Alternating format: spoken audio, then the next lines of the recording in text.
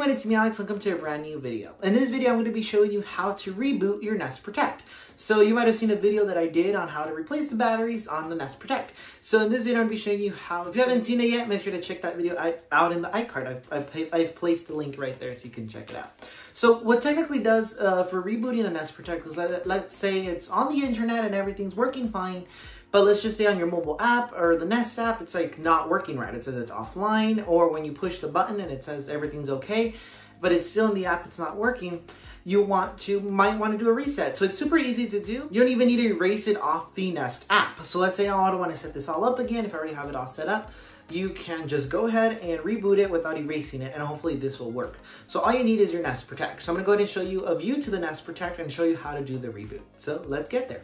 But before we get started, hi 21 new here. My name is Alex Torres. I do helpful technology videos. So make sure to hit that subscribe button and screen it would help my channel grow. Thank you. So let's get started with the video. So as you can see that right there is my Nest Protect. And right now on the app, if we go ahead and check, it says every, like it says is okay, of course, which it's supposed to.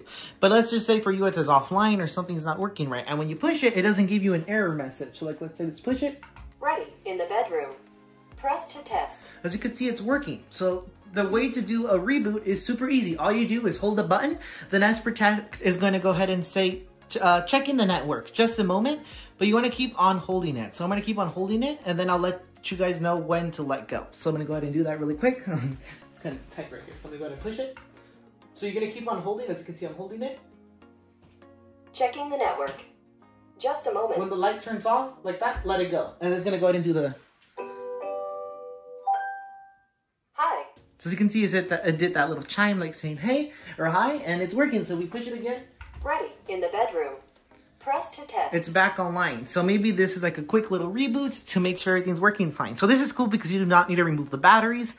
Well, let's say you have it hardwired to your to power. You don't want to like, of course, unplug the power and try to remove the batteries and all that. So just press and hold it and hopefully this will work. So that's pretty much it. That's how to do a reboot on a Nest Protect. Thank you so much for watching. I hope you found this video helpful. If you did, please give it a thumbs up, subscribe, and turn on the bell so you can get notified every time I post a new video.